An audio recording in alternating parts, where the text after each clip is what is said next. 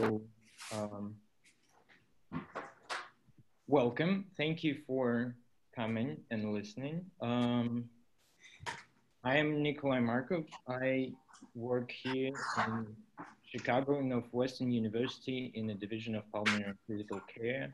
I started my academic career in general just a year and a couple of months ago, and I do bioinformatics analysis. So I analyze biological data that we here uh, generate and study uh, in relation to different pulmonary diseases. Um, so I want to start with this disclaimer that my background is computer science background, and this presentation will be mostly literature review about SARS-CoV-2 and COVID-19. And however, we have uh, recently published a preprint uh, describing certain aspects of COVID-19 uh, in which we see in our ICU at Northwestern Memorial Hospital in downtown Chicago. And I will talk about this too in the end of the slide. And I, I, I am prepared for some questions. Uh, however, I want to make uh, to let you know that I will write down every question that I haven't answered and track it down later and get back to you. That's my intention at least. Um, so I will talk about the virus itself. Um, then I will talk about pathophysiology of the disease um, and immune response. And in the end, I will present one hypothesis that we came up with that explains why um, we see such severe cases in associated with COVID-19 sometimes. So to start with, let's look uh, the enemy in the eye. So this is what SARS-CoV-2, the virus, looks like. Uh, these are individual particles. Um, this is just high resolution of the image on the left. Uh, you can see uh, particles here. This is, um, those tubes are cilia, ciliated cells. They are part of the uh, respiratory tract epithelium, and this is upper epithelium um, somewhere close to the uh, throat and, and mouth. Um, and these are the viral particles that replicate, that sit here, replicate, they can infect, they can uh, start the process. And this is the same image at the bottom. And these are images taken uh, from cross sections of similar tissue in different patients, but, and here stained with pink or purple are uh, viral RNA. So you can see where there's pink, there's virus, and this is a cross section of the same tissue. So, and this is again the same thing in another slice. And you can see small black dots here are those particles and those uh, round things are the cilia of the ciliated cells. So, so what is this virus which, which we call SARS-CoV-2? It is a virus. It is part of the coronaviruses, uh, which is a big family, has multiple viruses, four genus uh, in it. Um, and they are all pretty large uh, viruses that are encoded. They, they have their genetic material in single-stranded positive sense RNA, um, which is surrounded by some proteins and together they form a particle that is about 60 to 140 nanometers uh, in diameter. It, it floats, it sits on top of things, it survives some of the uh, things on different surfaces for different amount of time. It, the main source of transmission is thought to be uh, aerosols. So when we speak, we generate tiny droplets of liquid and within them, uh, the particles. So that's, I don't know, the physical characteristics. Um, these viruses, all in general coronaviruses, cause either respiratory or gastrointestinal or neurological diseases, or some of the combinations of those. Um, there are seven human um, coronaviruses. Four of them are here and they are they just cause common cold, uh, some light respiratory infection that doesn't do any substantial damage. However, three of them are highly pathogenic and this is SARS-CoV-1, MERS, and now SARS-CoV-2. But also there, there are quite a few coronaviruses uh, which infect animals like pigs, cattle, chickens, and uh, we study, this, this is, so previous, those two previous SARS-CoV and MERS and the viruses that infect uh, animals are our way to compare SARS-CoV-2 virus and understand what's going on and generate ideas about uh, how, how the disease actually uh, progresses and what it does. So a little bit about those two previous uh, serious coronaviruses and epidemics. So there was an outbreak in 2003 with just 9,000, 8,000 cases, pretty high mortality rate of 9% uh, in general and more than 50 in, in an older population. And it, it got global emergency and lots of studies, uh, some started to pay attention to SARS-CoV and etc. But then after several years, it all went uh, slowly down and there are, I think there started uh, several initiatives to develop a vaccine, but no vaccine is available. Uh, similar thing happened with MERS, uh, which is Middle Eastern Respiratory uh, syndrome virus and outbreak happened in 2012. It had high mortality, fewer cases. Again, it was contained and so gradually, uh, you know, we forgot about this maybe.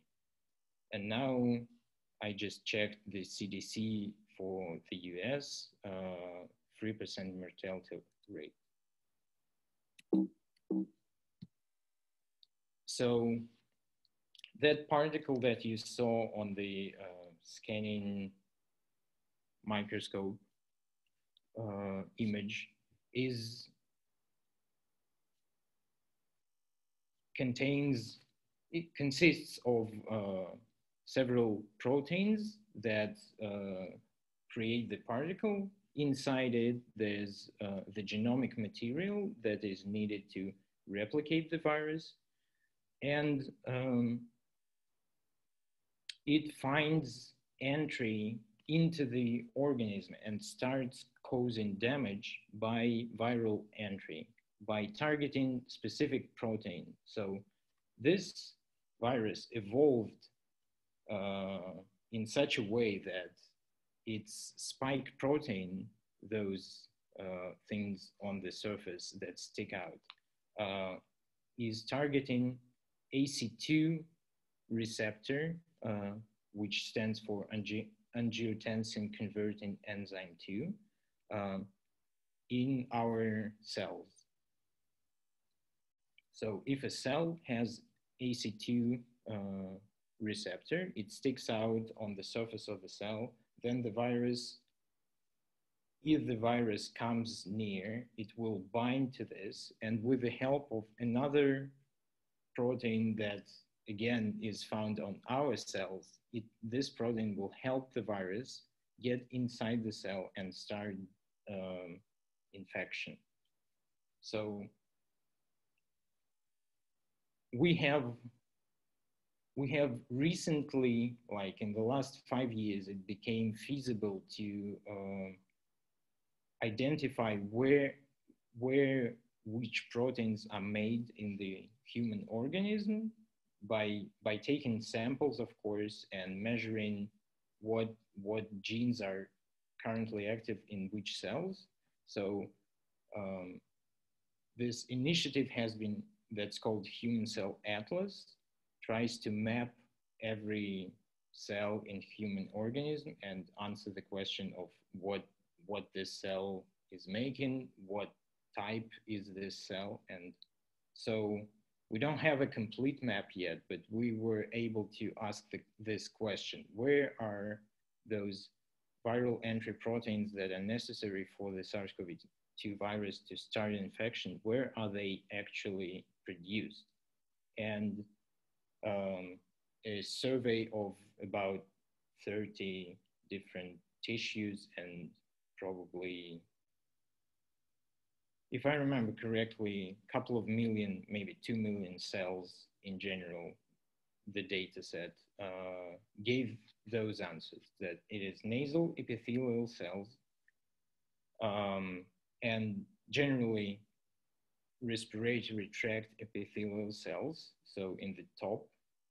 Then alveolar type 2 epithelial cells, which are in the lungs in the alveoli, um, in the terminal small chambers where gas exchange happens. And also several other tissues also have those uh, proteins expressed, uh, including gastrointestinal tract. So this, this was the virus. The virus, SARS-CoV-2, gives us COVID-19, the disease. What does the disease look like? Um, according to those reviews, uh, this is what it looks like. Many, many patients, around 80%, just recover without treatment. They clear the virus, uh, maybe they develop very mild symptoms.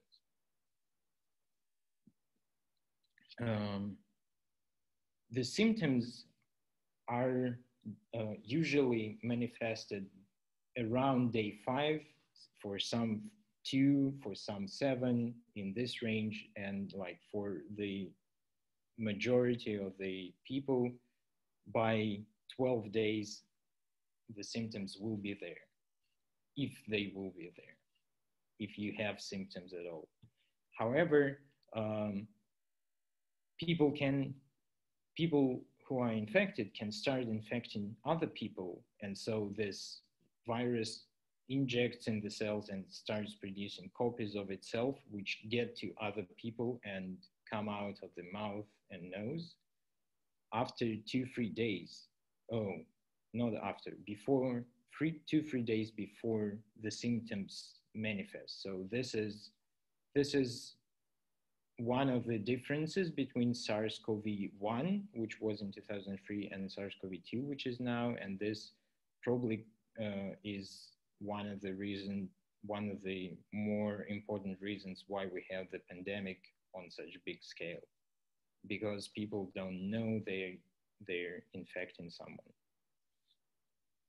And then, so other patients who do not recover without treatment, they eventually get hospitalized and there among them, many have comorbidities. Uh, some part needs ICU treatment.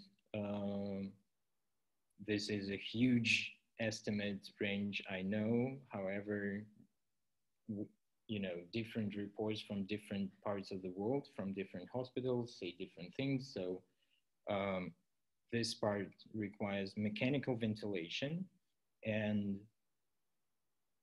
usually people develop pneumonia. Some of the people develop are acute respiratory distress syndrome, which is RDS. And there are several other complications that can happen. And this is very skewed in the age distribution towards older population, which is important. Uh, however, it is also seen in other diseases and, and generally the immune and inflammation are uh, more severe for older population. So what, what happens with the virus and how, how those symptoms and complications happen? So again, the virus finds a cell or happens to be near a cell which express AC, which has a protein ACE2 on its surface with TMPRSS, and the virus gets in the cell and starts uh, multiplying, replicating itself, and also destroying the cell um, and it happens somewhere in the upper respiratory tract. At some point, via unknown mechanism, the virus jumps into the lung, into the distal lung where gas exchange happens. Uh, there, there lots, the, the lung is structured like a, like a tree that branches and branches until on the very end of the branch, uh, a tiny bubbles, tiny structures called alveoli are found, which actually do gas exchange. So this, this, this is what it looks like. One alveoli, um, it has a um, it has alveoli type 2 and type 1 cells that line up the border of the alveolus. And right, after, right next to them, there's a blood vessel capillary that has uh, red blood cells that take up oxygen and transport it through the whole organism. And the capillary are lined up with endothelial cells here and they carry not only red blood cells but white blood cells that that are part of our immunity. And in the alveoli there sits usually an alveolar macrophage that does uh, that responds to some in, case something happens and also it clears uh, surfactant protein that that is generated by uh, alveoli type 2 cell and and so on. So when the virus gets into the distal lung, it, um, it infects alveoli type 2 cell, which also has this, sometimes express this ACE2 uh, proteins and TMP RSS. And this leads to a cascade of events, of molecular events, where a cell reacts to uh, either reacts to the presence of the virus inside it or dies because the virus uh, exploited the cell. And um, lots of different molecules come out here and these initiate uh, inflammatory reaction basically.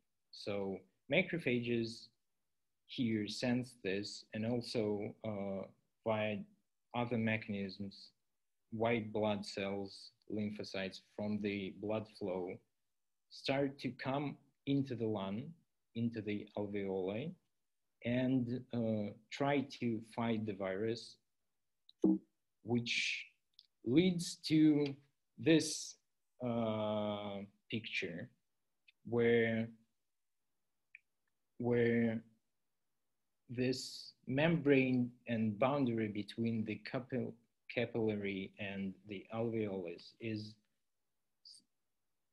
is disrupted. So there's more uh, fluid coming into the lung and also the particles from the damaged cells and dead cells start to accumulate um, as well as many blood cells white blood cells, lymphocytes, come to the lung too. And all of this creates several uh, pathologies, which are called diffuse alveolar damage in general, and it comprises hyaline membranes uh, composed of different molecules, uh, which which start to also line up the same border. And more or less all of those things that gradually start to prevent gas exchange and make breathing uh, more difficult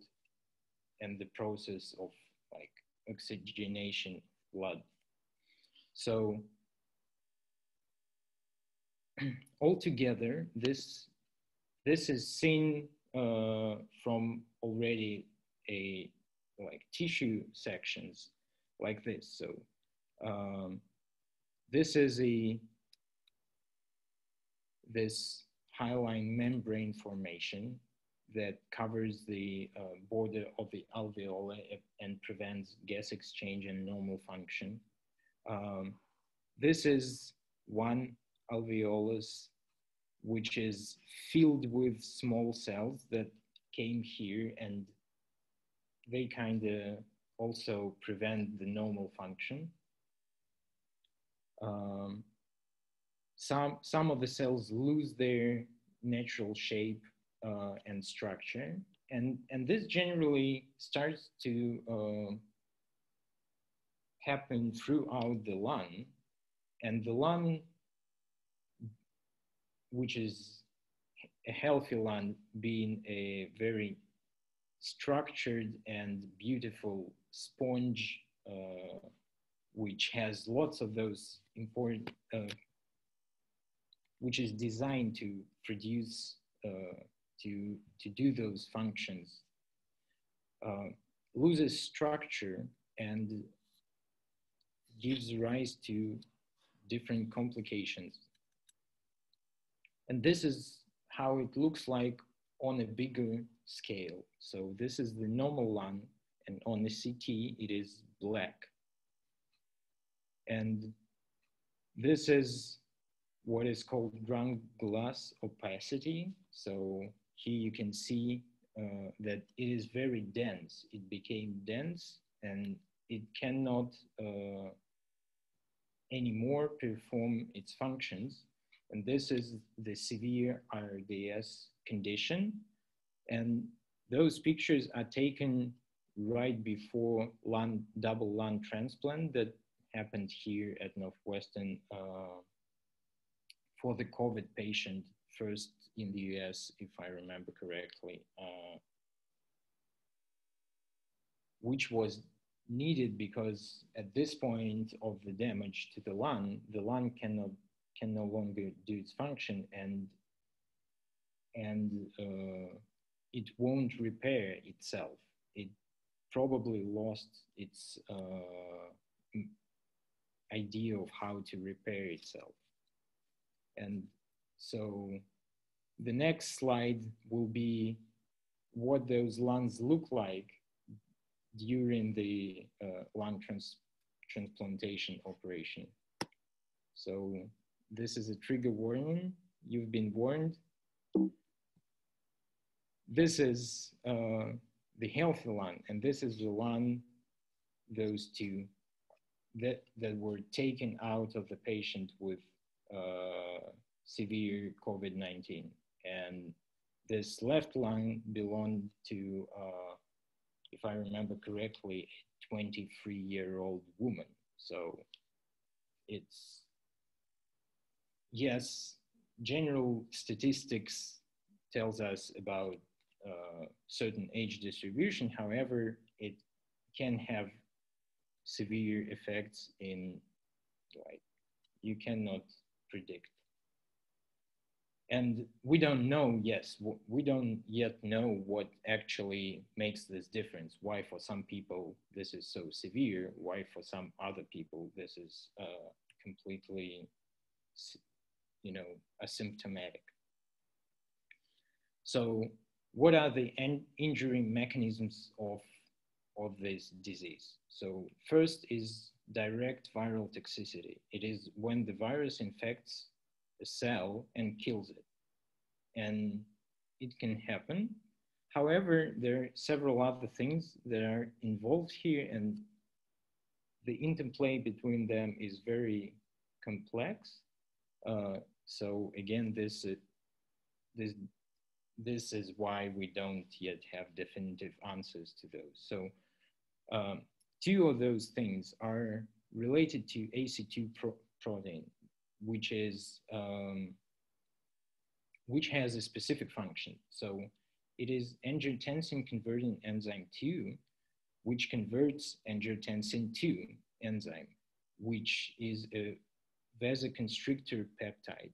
And so there's uh, there are two two proteins that have opposite functions. One one uh, relaxes the blood flow and uh, decreases the blood pressure and another constricts the blood vessels and increases the blood tension. And there's a balance between them. And ACE2 is a mechanism that regu regulates that balance somewhere in a specific like place where it is expressed locally. So when the virus uh, binds to those cells, it blocks the receptor one, and then it destroys the cell that has that receptor. So this, there's a disbalance with this. Uh, and this is related to this renin angiotensin aldosterone system. And also uh, on the endothelial cells that line up the blood vessels, uh, ACE2 is expressed. And so when the virus clears those cells, it, uh, it starts the process of forming thrombose, thrombs in, in the vessels. And so this gives uh, another complication of thrombosis and microthrombs in the lungs and also reported elsewhere in the organism. However, the biggest maybe thing is immune system and our immune response. So immune system is quite complicated and not only uh, beneficial to us. Some, sometimes it acts uh, as a traitor and trying to repair things and uh, clear the virus or infection, it will also injure everything else that it finds. So, so what is, there's a balance to this immune response. Sometimes if it's not enough, the virus will do its work and destroy things. If it's too much, it, the immune system will destroy things. And we know it from other diseases too. So here, particularly there's a mouse hepatitis virus, which is another coronavirus. It's neurotropic, so it infects brain. And what we know about this mouse and this virus is that from different experience is that um, there's there there's a balance to this. So uh, there's a interferon type 1 uh, signaling, which is part of the immune system, innate immune system.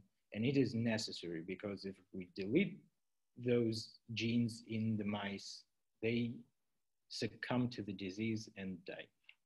So the same story with T cell responses.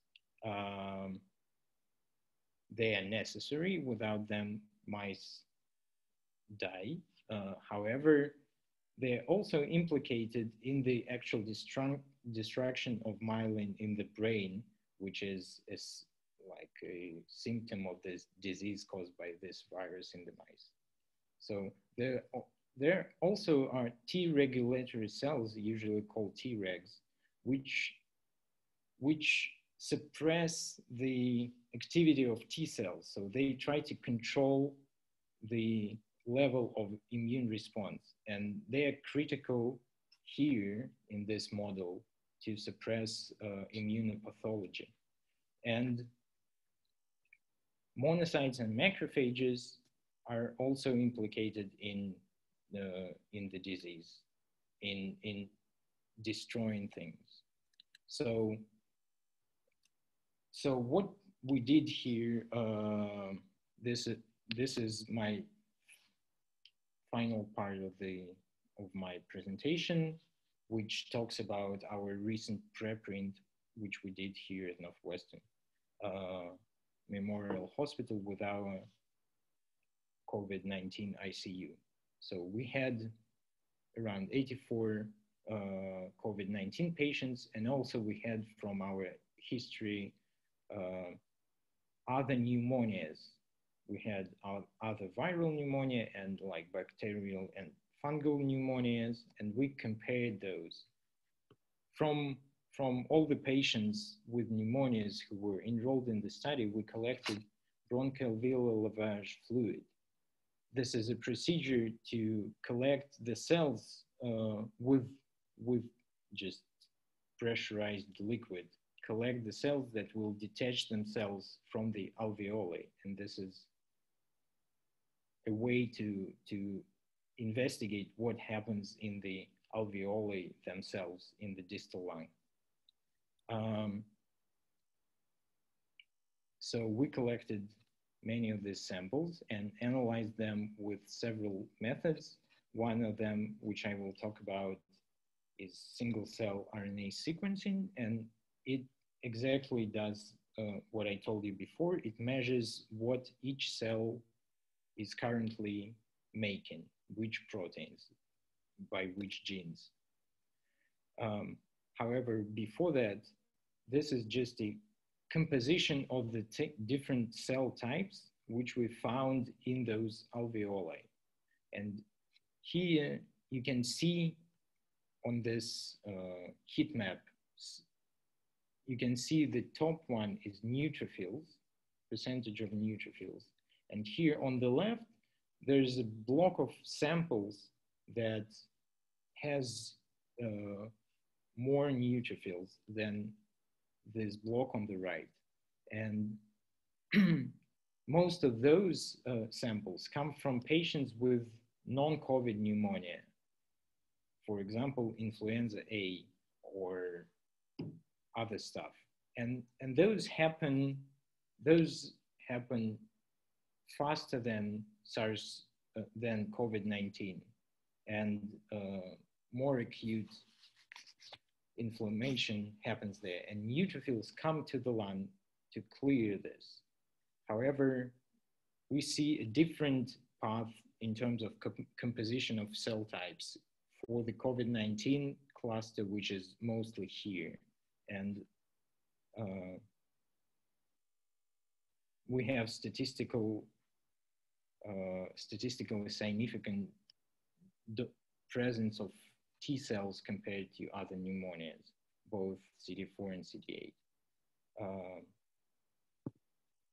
and so this just tells us that this is a, a little bit different story from the typical pneumonia and what, and we asked next what uh, could happen what, what, ha what happens there. And we did this uh, single cell RNA sequencing experiments where we looked at each cell, which we found in several samples, and tried to uh, describe those cells and group, first group them together by their function and similarity, uh, by their similarity, and then infer their function. This is more accurate of what we did. And among other things, we, we were able to detect uh, if a cell had SARS-CoV-2 inside it as a virus or not. And here, if you can see this uh, graph D, blue highlights this, uh, how many genes from SARS-CoV-2 virus we found in each cell. And there are uh, a few, there are three groups here. One is AT2 and AT1 cells, and this is as expected, AT2 cells, alveolar type 2 cells, they express ACE2 and so they're infected. However, we also found virus in macrophages, uh, which hasn't been reported before, I think. And uh, those two groups of macrophages, they also express uh, several key uh, cytokines and chemokines, which whose function uh, is to attract more immune uh, cells into the lung and sort of perpetuate this inflammation that happens and, and maybe even spread it. So um, so this is the hypothesis that we came up with um, that tells this story that when the in the healthy alveoli there's an ACE2 expressing AT2 cell, AT1 cell, and a macrophage, and they peacefully coexist. However, when SARS-CoV-2 virus enters here and infects AT2 cell, uh, it activates macrophages to release those uh, cytokines that will recruit uh, immune cells inside here, which, which will, uh, the recruited cells release another type of cytokines, interferon gamma, which brings more macrophages into the same alveoli and more macrophages bring more T cells. And so this is the uh, way of having a positive feedback loop, which, which we think slowly spreads uh, in the lung from alveoli to the next. And so this is uh, why COVID-19 is slower and also more um, has more burden on the general system because of the level of those inflammatory signaling that are released here constantly uh, throughout the course of the disease. So with this, I want I want to thank all the colleagues that worked on this, and there's more than 100 uh, and it, many studies now with uh, about COVID-19 or SARS-CoV-2 are huge studies, and I want to pass microphone to Piotr. Uh, Thank you so much. Sorry. Um, before before Perl starts uh, his speech, could I suggest everyone to ask their questions? Uh, just like to to take a short break, to sip some wine, and maybe to just to to help people think on on what we just heard because that's that's really incredible. That's a huge study. And my my personal ask uh, today is how exactly the virus uh, targets uh, the the right cell, like the the organ, uh, whether it's lungs or liver or any other. How it happens, like how it choose uh, the real target. Um, my my answer is like most of the things in biology, random. So it just so happens that well, if you touch the virus with your hand, nothing will happen because your hand does not have cells that express ACE2. And so you can just then wash your hand and uh, be happy. Uh, However, if the virus gets into your mouth or nose and, and there by pure chance finds a cell, then the infection can start. And then virus, well, it evolved to um, to suppress some of the functions of the of our immune system, uh, like interferon one signaling, and so it it has some mechanisms that it evolved to do, but I think it it it goes to the lung naturally just because of the breathing and because it initially harbors somewhere already in the respiratory tract. And so it gets to the lung like just influenza A or other uh, respiratory infections. However, if it escapes the lungs or not is, I think, still a question. However, uh, I, I personally think that it does, and there are some reports of the virus being seen outside of the lungs, which is not typical for respiratory infections. Um, and there it is, if it happens, it is brought there by different systems, mainly by blood flow. And so because of how, you know, this is built, if, if something gets in the blood, it will end up in the heart, it will end up in the kidneys, it will go through the liver, and all of those places act like filters.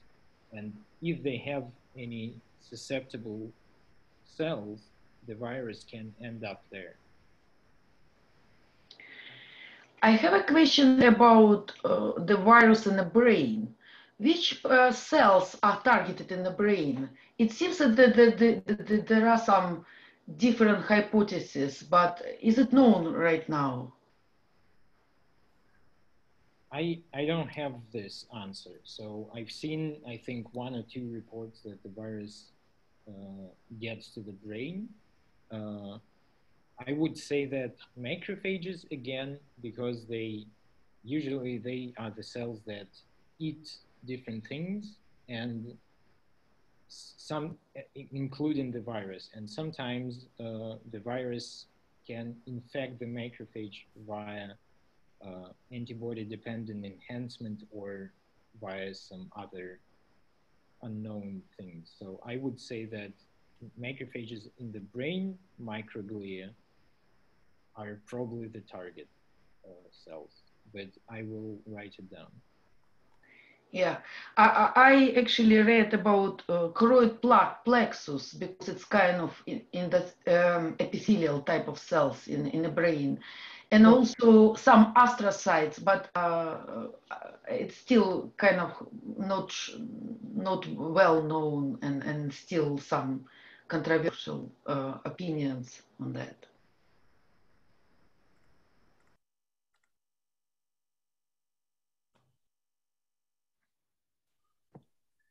Um, I think everyone else uh, also has lots of questions, but in general, you give such statistics regarding possible complications in the heart or even septic shocks, which is really impressive. Could you please clarify uh, how exactly does uh, the virus work on them?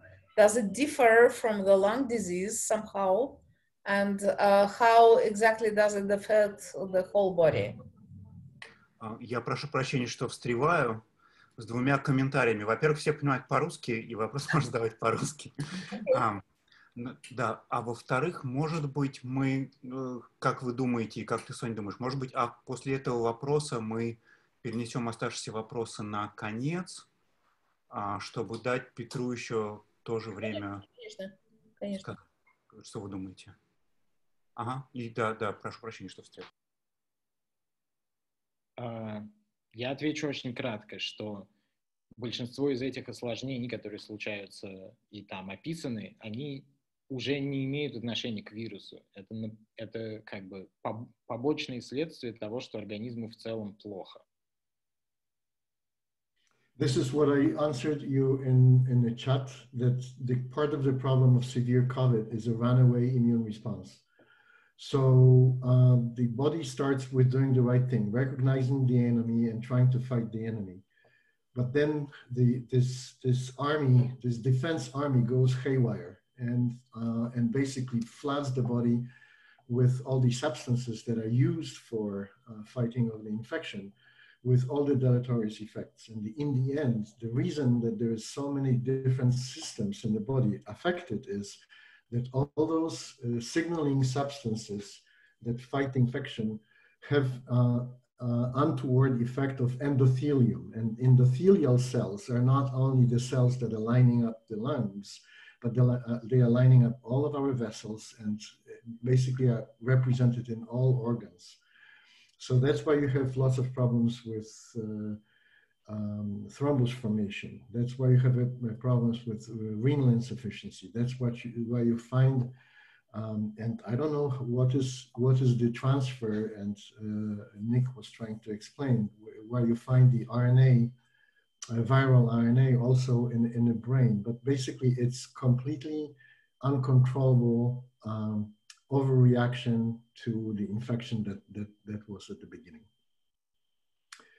Um, with this, I will take a floor and um, let me see, share, how do I share?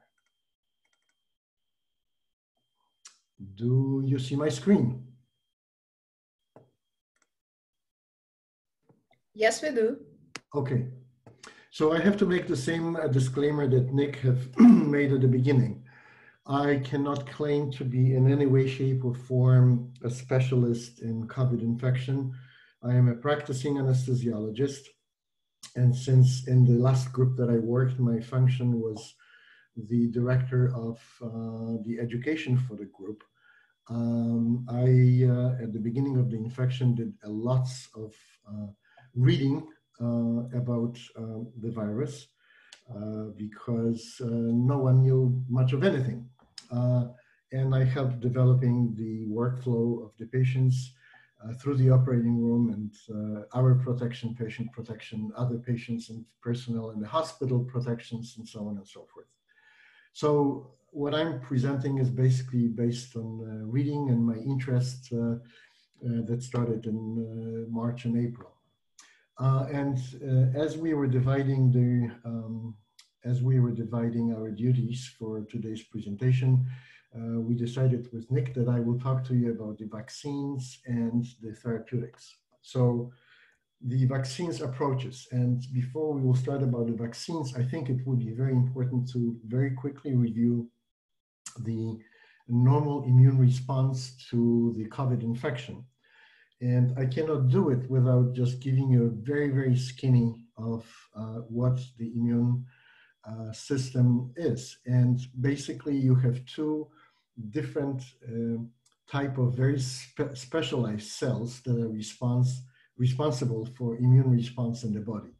So um, these are, let me just do the pointer here. Uh, these are the T cells, which are represented here, uh, and the B cells. So T cells have two functions, roughly speaking. One of the functions is uh, recognize. So ani razviedчики prosto.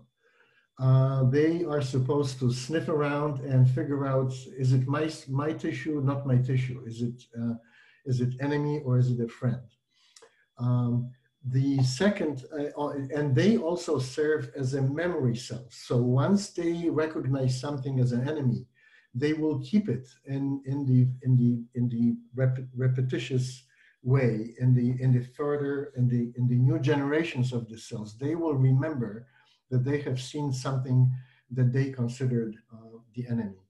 The second type of t cells are directly cytotoxic. So basically their role is to chew up the uh, body cells that were infected with the enemy so that would be a, a T cells and T cells the, the name T is coming from thymus because they are differentiating in a small gland that sits right in the middle of your upper, upper chest uh, around the trachea, uh, very close to your thyroid gland. The second type of the cells that, uh, that are represented uh, in the immune system are B cells. And the B cells are differentiated in the um, peripheral glands, um, lymph, lymph nodes, and, and they are very, very richly represented in the spleen. And they have a little different uh, role. Uh, yes, there are some B cells that serve as memory cells, but first and foremost, they are responsible for production of immunoglobulins. And immunoglobulins are basically a small protein fragments that can directly bind to the antigen. Antigen is something that is represented on the enemy's uh, cells or the surface.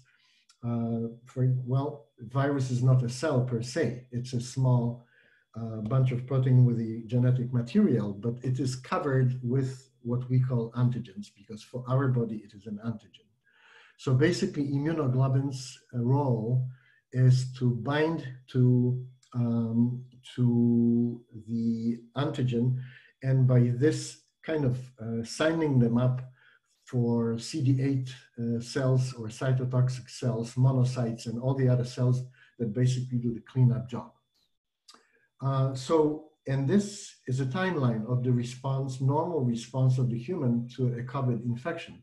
So first, uh, first of all, of all, you have uh, those um, CD4 T cells, which are memory recognized and mem memory cells that will um, be um, uh, reacting to it. Uh, and then, of course, uh, there, through intersignaling between T cells and B cells, you have huge expansions of the B cells and then production of uh, immunoglobulin uh, M, A, and immunoglobulin G. Uh, but what is important to see is that around six months, basically you have, assuming that the, you, the body has su su successfully fought this infection, there is no sign of uh, any response, um, which is good uh, because part of the COVID problem is that there is no end to the reaction and it fuels the fires that is, that is very difficult to quash. Um, good part is that those CD4 memory cells and B memory cells do have encoded already recognition of this enemy and they can react very quickly uh, for in, in the infection to follow. As an example, anecdotally, and there's only two or three reports um, uh, so far uh, about the patients who are reinfected several weeks after the initial infection or curing the initial COVID infection, are reinfected uh, with COVID. And one probably best described um, and first very well described case from Hong Kong, the patient had relatively severe, but not, not, not, not to, to the extreme um, COVID uh, infection. And a few months later, a couple of months later, uh, he was tested again uh, for presence of the uh, virus. He was completely asymptomatic. And sure enough, uh, he was colonized with the virus, which only means that his, all, his own immune system through the memorization of this previous infection was able to mount the appropriate uh, response and he did not have a full-blown uh, infection. Uh, so again, importance of this natural response is the dynamics of uh, antibody ups and downs and quite possibly the, uh, the vaccines that will be developed will require uh, two doses to bump, bump up initial response and probably yearly, if not more frequent, redosing to keep uh, the uh, to keep the immune, immune system in tune for possible infection. And, and then the blessing of the memory of CD4 and memory B cells uh, with speed and response to reinfection. So how to make a vaccine? Historically, um, vaccine was made basically by taking the virus that is of interest to us putting in, into a bunch of uh, um, eggs that were fertilized, having them grow in this egg, and then processing them further. Um, nowadays, uh, for the most part, uh, uh, the manufacturers are moving to human cell lines, uh, which are much cleaner. There's no risk of uh, infection with using the eggs, and it's just cleaner process, be it more difficult to accomplish, but it's cleaner.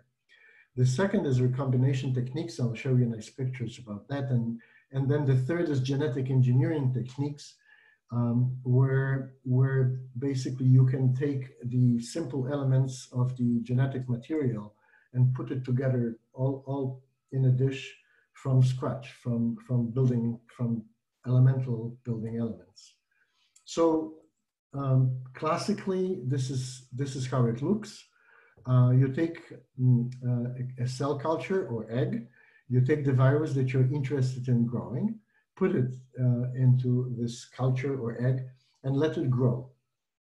This accomplishes two things. One is you have a bunch of the virus that you need uh, to make a vaccine.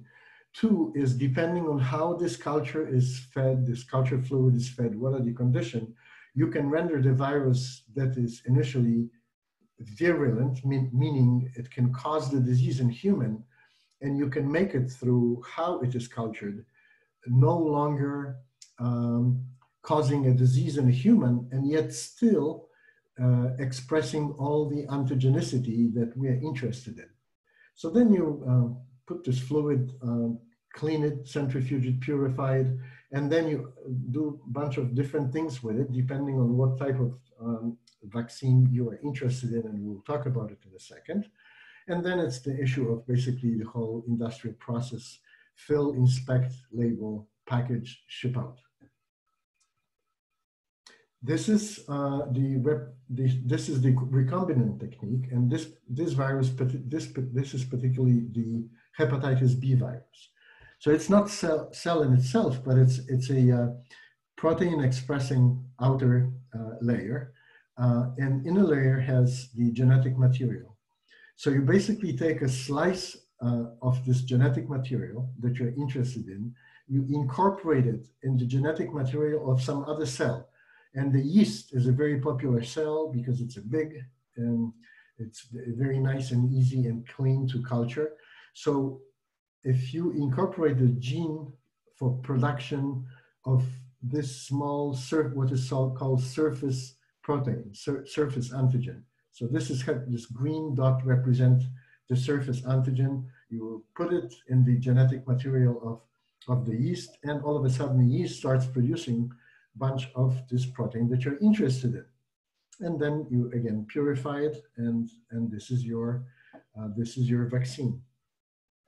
And then I would like to turn your attention only to this part of this slide, which is genetic uh, uh material uh, that is encoding uh, of the spike protein. You can build this again from, from the el uh, single elements and you basically only produce the genes that are encoding uh, the spike protein production uh, and then you inject it to human cells and they, the, the, human cells start producing the spike protein without the other virus proteins.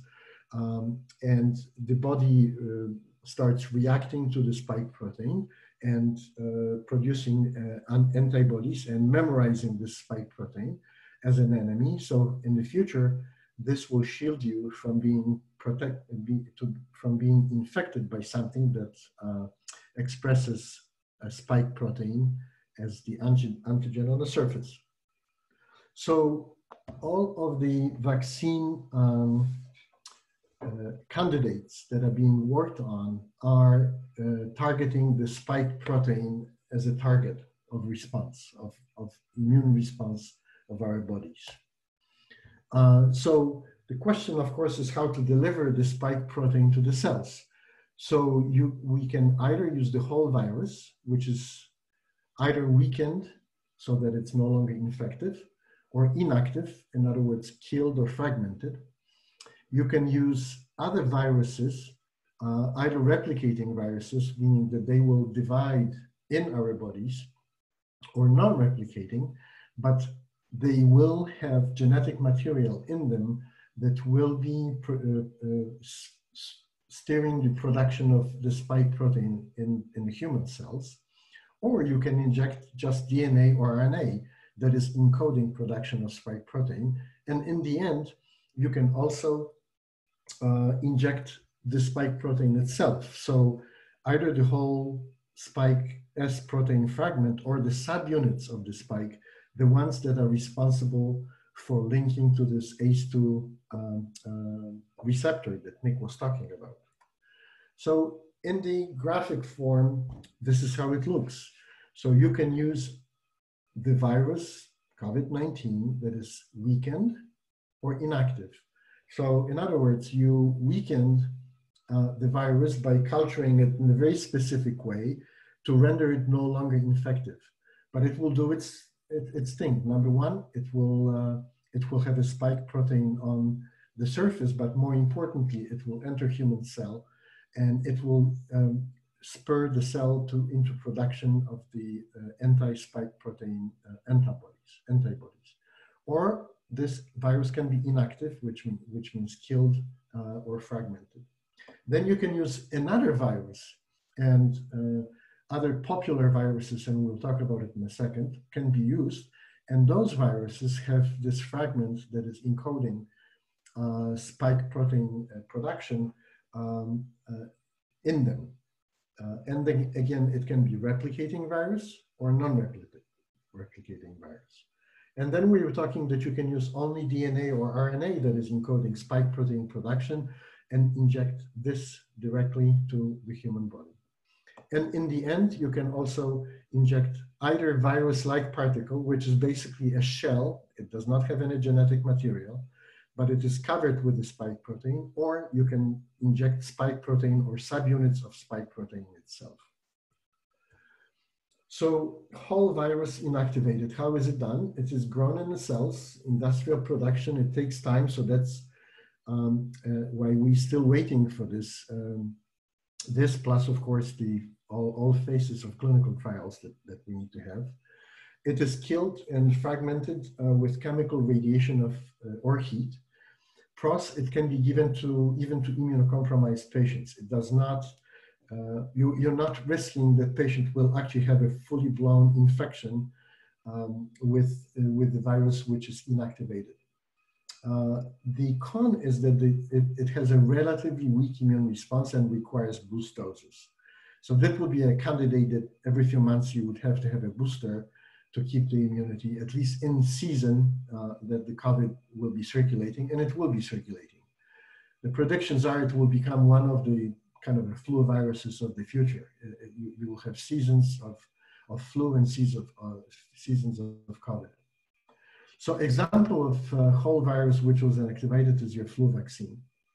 Uh, and in, in, in, the fight against COVID-19, this is a prevailing Chinese uh, efforts approach. Multiple companies in China are working on the whole virus uh, inactive, in, inactivated form. Attenuated is the one that, again, it is cultured and it is genetically weakened. So by tweaking how it is cultured in a tissue culture on, on eggs, uh, you, may, you render it no longer infective. So it's a normal virus, it has all the antigenicity of the normal virus, but it should not give you a fully blown uh, infection. Uh, you can now build this weakened virus from scratch. Uh, the genetical engineering is so far that you no longer have to culture. But again, it takes time. The, the pro of using this approach, it, it's a stronger response and longer acting immunity, uh, lasting immunity the con is it cannot be given to immunocompromised patients and it requires refrigeration. So if you, if you imagine that uh, one of your tasks will be to immunize everybody in sub-Saharan Africa, uh, it, has, it, is a, uh, it is a headache, though the, though the organization with which I work is specializing in this type in a cold chain, uh, cold chain for vaccines as well. So example of, of uh, vaccines that are already um, uh, produced with this approach is chickenpox and yellow fever. Uh, there is no clinical trials with the attenuated uh, virus at this point. So again, we have covered uh, those two things, which is coronavirus, either weakened or inactive. Now we will go to another type of the virus, uh, which is different virus type, but it has in it the part of the genetic material which uh, induces our cells to produce um, um, spike protein. So you basically use a carrier virus, which is benign to humans. And it can be, for example, attenuated flu virus or measles.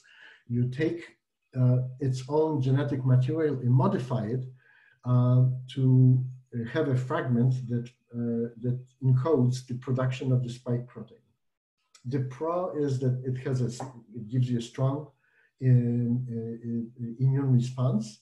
And if you're using replicating virus, less virus is needed because it multiplies in the host. So you have enough of the expression of the antigen that you want to have recognized and fought um, if, you, if you're using a replicating virus. A con, uh, it, it, it, requires much longer safety testing uh, than, than the protein or nucleic material. And again, it needs refrigeration. And Merck is working on this type of uh, the vaccine right now. Um, and non-replicating, the same, exactly the same principle. Uh, the popular viruses uh, used here is adenovirus and rabies. Uh, and again, you insert the genetic material for spike uh, protein production.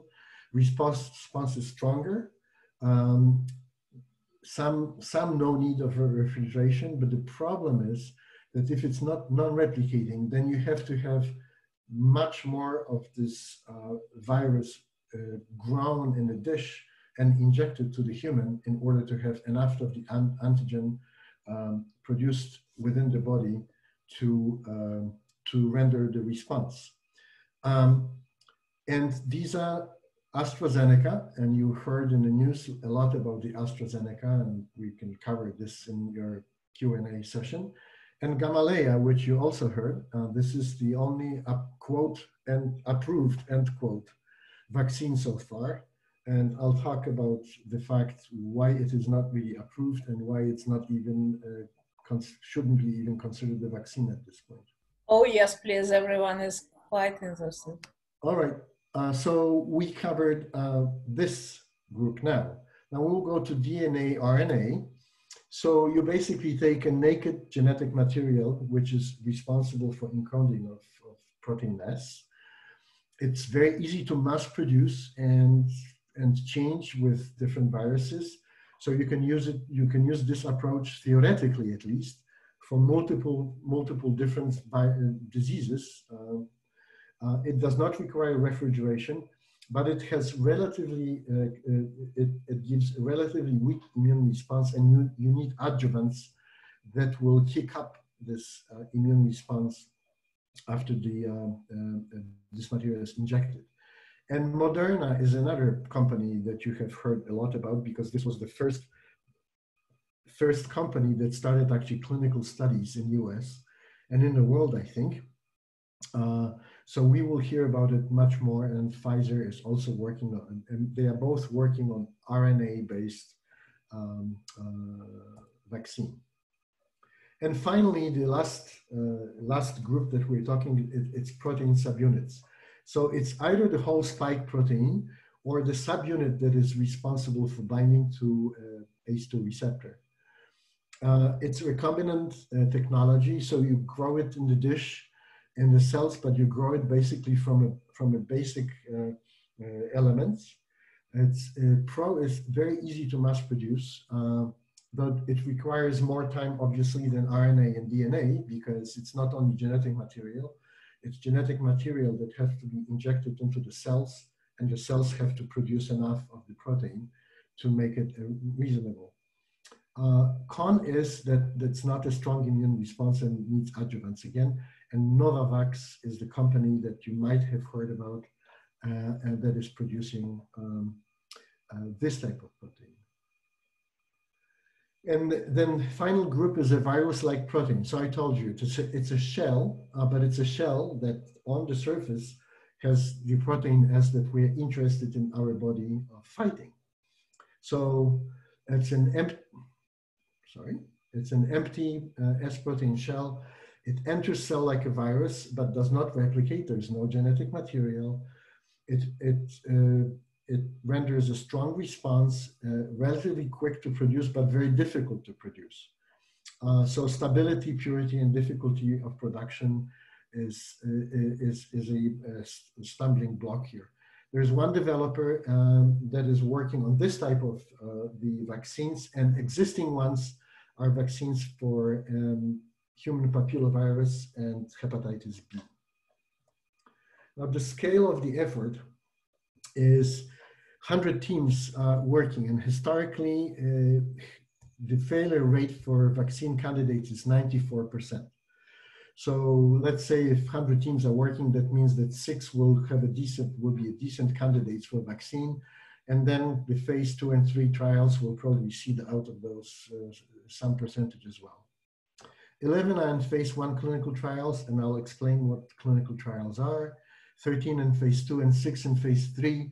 And AstraZeneca just restarted after one major complication. There was one patient who developed what is called a trans, um, transverse myelitis, which is extremely severe complication, which is uh, oftentimes autoimmune. It can be bacterial, but it's oftentimes autoimmune. So that was a very, very, very quick red flag for the manufacturer of this vaccine candidate. And they held the study. Uh, they just restarted, but they restarted it in Brazil and Australia. They did not restart, restart human studies in US. I guess US uh, regulators are still not uh, happy with uh, vetting of this one case, and we will see where it goes. There's one quote, approved end quote, uh, uh, Gamaleya um, vaccine, but there are multiple things here. For all practical purposes, this vaccine candidate went only through uh, phase one clinical studies, uh, meaning that 37 people were injected with two different uh, types of this vaccine in two different doses and uh, antibodies against uh, protein S were found in their serum as a response. And no one died or uh, no one died or had many major complications. There were no phase two and three studies done, and we'll talk about what phase two and three studies are in a second. And uh, about 30 different um, um, uh, serious researchers from uh, several continents have written a letter to the editor of, of Lancet, if I remember correctly, about two weeks after the study was published, raising a very, very serious, uh, how to put it mildly, doubts about quality of data that was presented. The raw data was not presented. The graphs of the responses was presented, and there were very curious duplications um, of the data and the response of those patients uh, presented in the graphs that are um, almost impossible in the normal distribution of statistics to replicate. So um, I, I put it into no, nowhere near the vaccine uh, category at this point. So again, just to summarize, what are the platforms? You can use either genetic material only, you can use another virus which will have the genetic material that is responsible for encoding of the protein S. You can use um, uh, protein, spike protein itself or subunits of spike protein, uh, uh, protein S. You can use uh, the replicating virus, which is attenuated. You can use non-replicating virus that is attenuated, and you can use the virus that is inactivated, which is chemically or thermically killed, but still expressing S protein. And so these are the approaches possible for vaccine formation. And this is how it basically um, um, divides into what which principle is used by how many manufacturers. So protein-based are most um, popular. Uh, China is working for the most part uh, with uh, live attenuated and inactivated virus. So these are Chinese approaches. And then you have RNA, DNA um, approaches to the vaccine. Now, vaccine candidate clinical studies. We were talking about phase one and one, two, and three. So phase one study is basically you take healthy volunteers uh, 20, 30 of volunteers. Uh, by now, you know from your animal studies that uh, what you think will be a vaccine does something to the body and elicits some kind of a response. So you inject it to human, cross your fingers and hope that nothing bad will happen. and that you will actually find the antibodies product produced against this antigen that you have injected or the genetic materials that is supposed to express itself in the human cells and spur the human cells to produce this antigen. So this is basically safety and dose ranging study. Very small, healthy people only. Phase two is efficacy and side effects. So you're looking uh, for how robust is this response that you're looking for. Uh, do you have consistently, are you consistently finding the antibodies against the antigen that you're interested in find, find, uh, fighting? And, um, and you're looking for side, this is the first time that you start looking for side effects. So you have usually a few hundred subjects, um, and the fact that you are finding consistently the um, antibodies does not means does not mean that you will have a good therapeutic effect. So efficacy does not equal therapeutic effect. So you may find that the vaccine candidate is efficient, meaning it it uh, gives you a response of the body that you are hoping for, but it doesn't mean that it protects you against the infection. And only in phase three, large populational studies, you can look also for um, therapeutic effect uh, and safety. Uh, because you, if you uh, inoculate a large um, chunk of population, that means that will be the people that will have, through their communities, contact with the virus.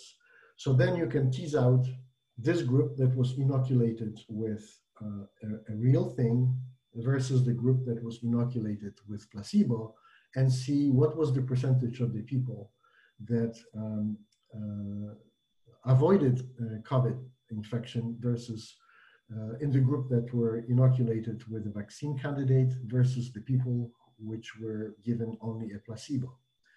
And also you're looking for rare but severe complications. So um, this uh, AstraZeneca uh, red flag uh, was exactly during the phase three where you have several thousand people. And actually they, all, all of those vaccine manufacturers are targeting somewhere between 20 and 40,000 people that will be in, uh, in the study between the, um, between the therapeutic uh, arm and the placebo arm. So again, Russians have to taken 37 people, uh, injected a couple of doses of uh, those um, uh, vaccine candidates, and they found the ant antibodies and the statistics that they presented are questionable in itself. There was no phase two and no phase three study, so we will see where it goes. Okay, quick breather. Um, we will switch to treatment and it will be very disappointing. And the reason it is disappointing because the whole uh, medical community is disappointed because there is very little to be said about um, treatment um, as far as medications uh, are concerned. Uh, so first of all, what the treatment is not indicated for. Uh, there is nothing that will prevent you from getting infected. So don't take medications to keep you from being infected.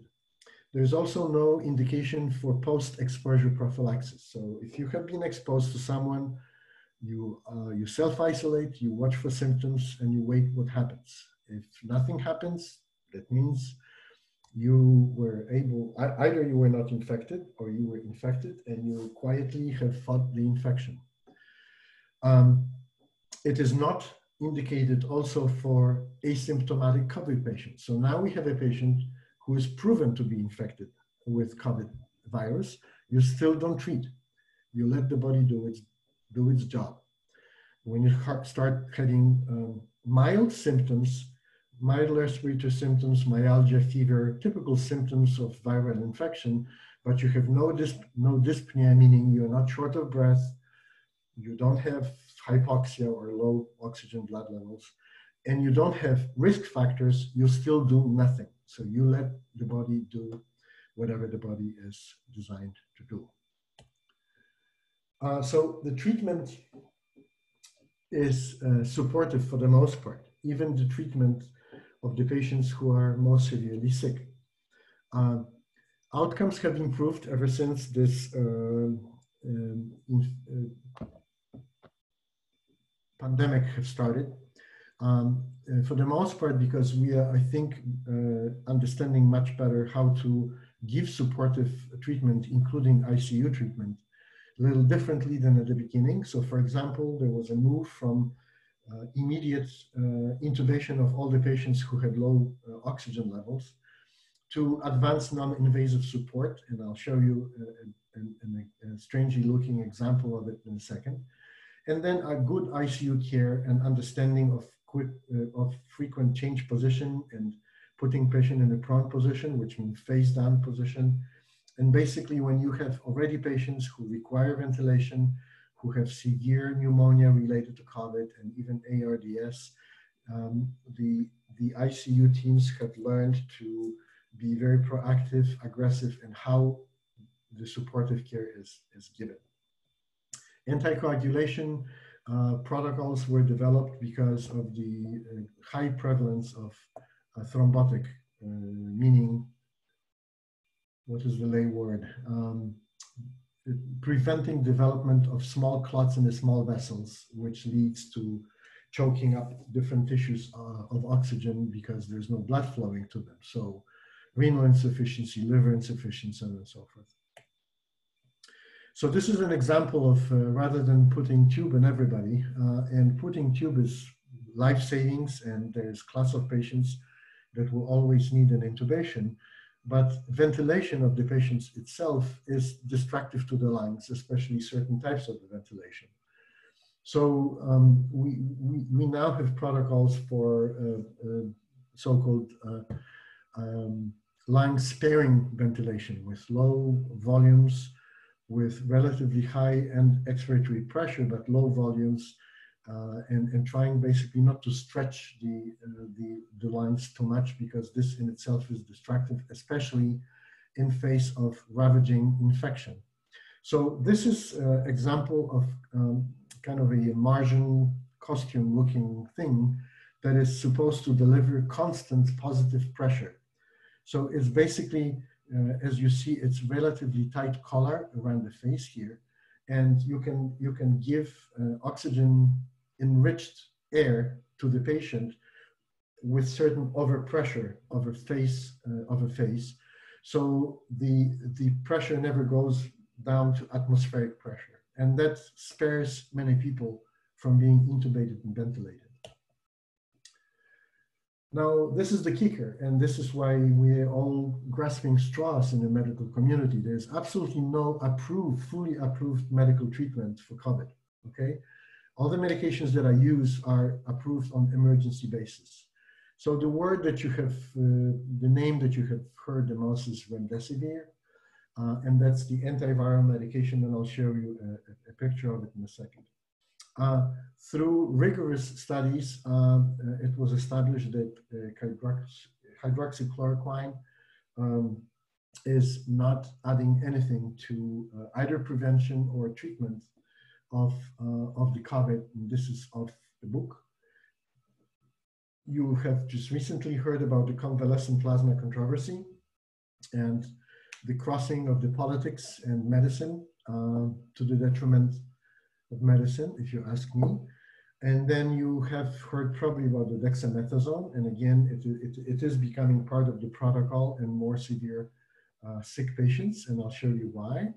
And there's a promise of injectable engineered antibodies. So rather than having our bodies produce, produce antibody, you produce antibody in the dish and you inject the antibodies and that's Eli Lilly. Uh, uh, and you could uh, you could probably hear or read something in the paper last few days or a couple of weeks. Uh, the problem is cost. It's incredibly expensive, and you need tons of this stuff, uh, even for a single patient. So if we are talking uh, millions of infected people, that's prohibitively expensive and cumbersome.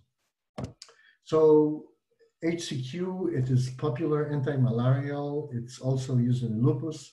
Again, in controlled human studies, there was no benefit. It didn't shorten the disease. It didn't weaken the response. It didn't save any lives. And uh, in addition, it, uh, it has some inherent risk of cardiac toxicity. Uh, for, forget about it, to say it in New Yorker accent. Convalescent plasma, what is the concept here? So you basically have people who have been subject to COVID-19 infection and they were successful in fighting this infection. And the reason they were successful in fighting this infection because they produced uh, neutralizing antibodies. So they have basically neutralizing antibodies that are circulating in the blood. So you take blood from those people and through the process called apheresis, where you separate all the cell elements, blood, red blood cells, white blood cells, platelets, and what is left is only the fluid in which those cells are suspended in the whole blood. And this fluid, which is called plasma, contains those smaller protein par particles that are called antibodies. So these are COVID-2 neutralizing antibodies, and you transfuse them to someone who is suffering from COVID uh, infection. So there is some success in this so far. Uh, about 20,000 patients were treated so far, but it's relatively narrow effectiveness. So uh, it serves patients who are below 80 years of age. It has to be, uh, plasma has to be, has to have a high titer, meaning high concentrations of those uh, neutralizing antibodies. So not every patient who fought the infection is a good candidate for it. Um, the patients have to have a moderate disease. So it does not do much for patients who are already on the ventilator. Um, and it has a relative risk in this constellation, it leads to relative risk reduction of progressing to more severe disease.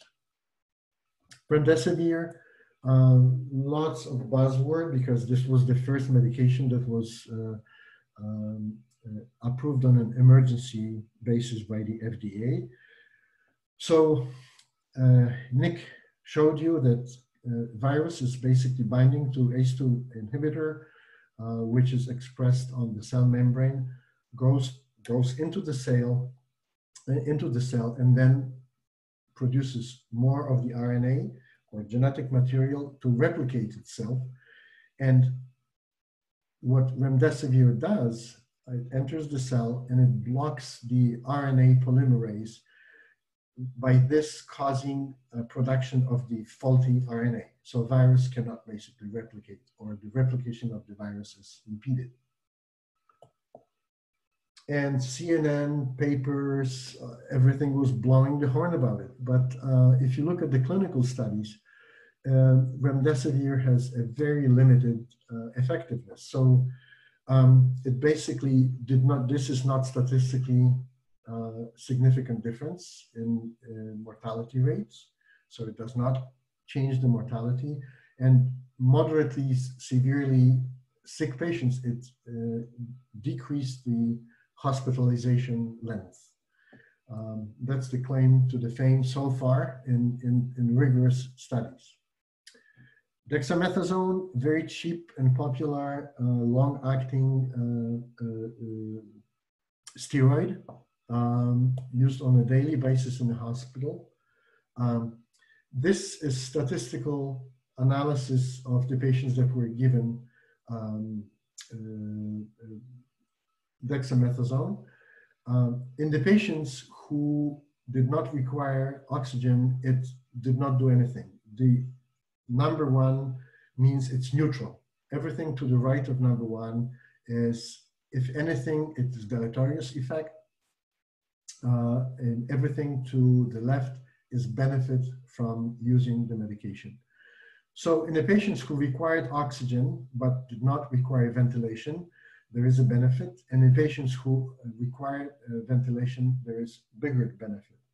So all in all, for patients who require oxygen but are breathing spontaneously, and in patients who are who have low blood level oxygens to the point that they, they require mechanical ventilation, there is benefit of, of giving dexamethasone. And if you want to, in a graphical form, basically of the patients who require oxygen or are ventilated, uh, about a third of them uh, will, will be rescued from dying. So if you have 100 patients on the ventilator, um, dexamethasone will buy, bail out about one third of them from dying. Okay, so that's that's about the treatment, and it was a short uh, and sweet because there is not much to be said about it. Uh, Nick wanted me to uh, mention uh, clinical studies um, about the interleukin blockers. Again, very expensive, all done by genetical engineering. So far, disappointing. Um, uh, interleukins uh, is are part of those messengers of inflammation. Um, and thought was that if we are trying to, if we, if, if, if we have a scenario of runaway inflammation with overproduction of interleukin, and there's a bunch of them, six of them for them, for that matter.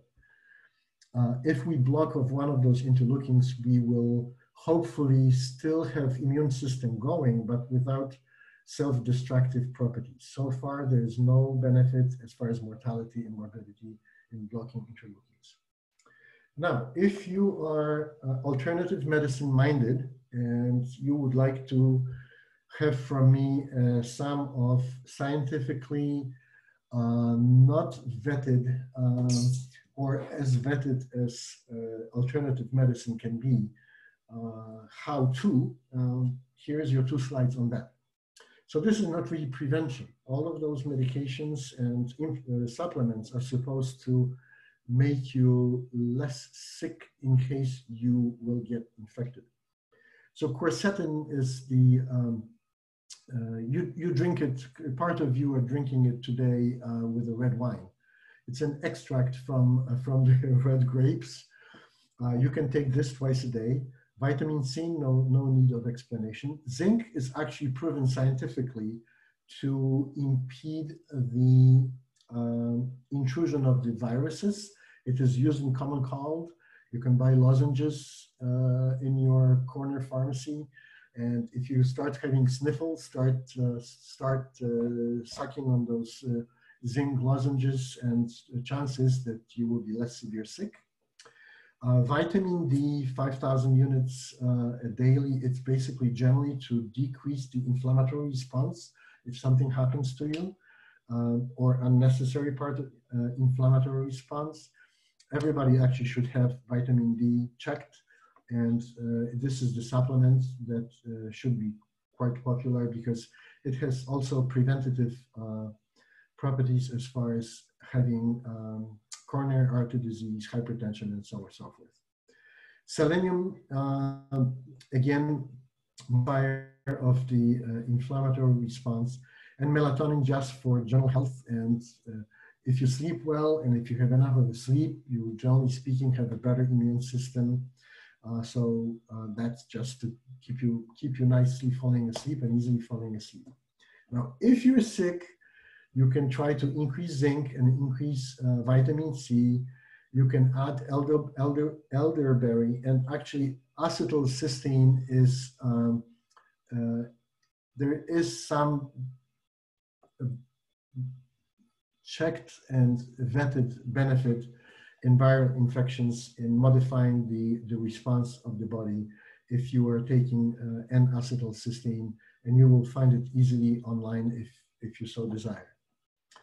Um, however, until we have an effective, effective vaccine, uh, these are the steps that all of us have to take. Distance, mask, hand hygiene, and no gatherings inside. To what extent uh, mask and distancing uh, are effective, uh, just today, I think the report was uh, uh, posted on comparison of first six months of this year um, of the common cold infections and flu infections versus uh, the same period last year. And but by leaps and bounces, the, the number of uh, people with the, with the flu this year is lower than last year. And it's probably uh, due to the fact that people are distancing and wearing masks. It's the same way of spreading, uh, droplet in contact. Uh, so um, most of us is, are now distancing and wearing masks. So do more of that. And then we wait for the vaccine and the most optimistic predictions are the vaccine will be available sometime mid 2021. When it will be available to the masses, who the hell knows? Um, probably um, the, the, the, the immunizations will go first and foremost to the healthcare providers, um, then to the elderly and people with comorbidities, uh, then to first responders. So you will have your policemen and firemen and uh, clerks in the store who are checking you out and drivers in the mass transit and so on and so forth. And then to the general population. So good luck, line up and let's wait. That's all I have. Just amazing. Like I'm I'm so impressed. Thank you so much, Nikolay and Peter. Um, and let's switch to the question because uh, I'm I'm really overwhelmed. So I suggest everyone just to jump in with the questions.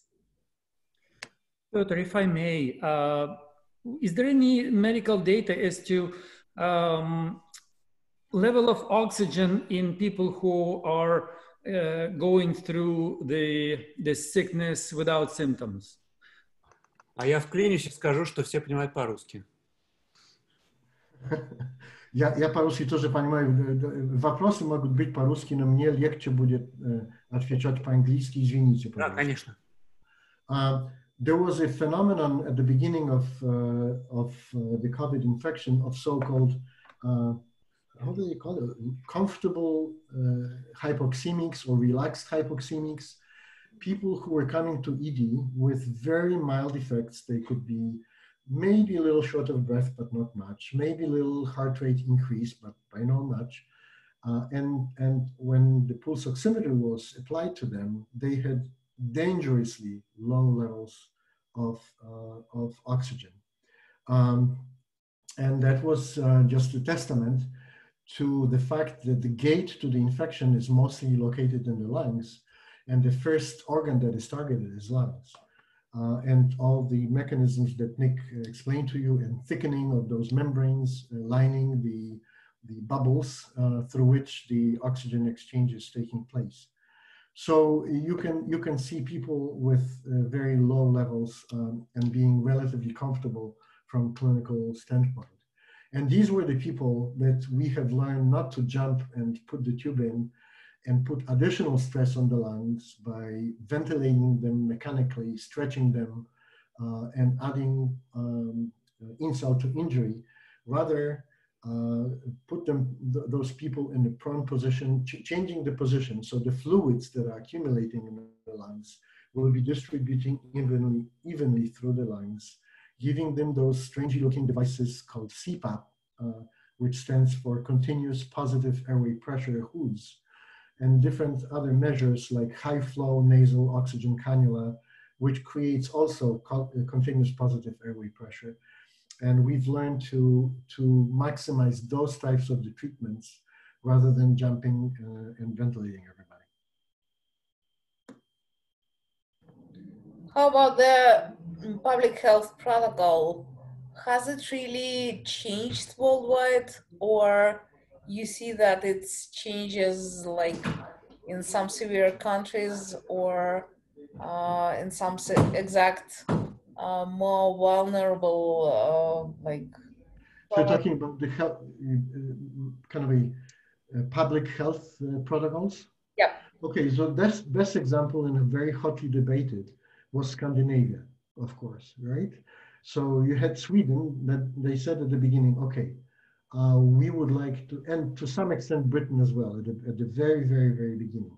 So the thought in Sweden was, okay, we will protect our elderly, uh, so we will make sure that they are isolated, very strict isolation rules in, in the elderly houses. Uh, but the rest of the country will basically stay relatively open. So uh, the restaurants will be open, the schools will be open. I did not check it uh, recently, but last time I checked, which was about, about a month uh, ago, oh, and, and the thought of doing it was we will gain, this way we will gain the herd immunity much quicker.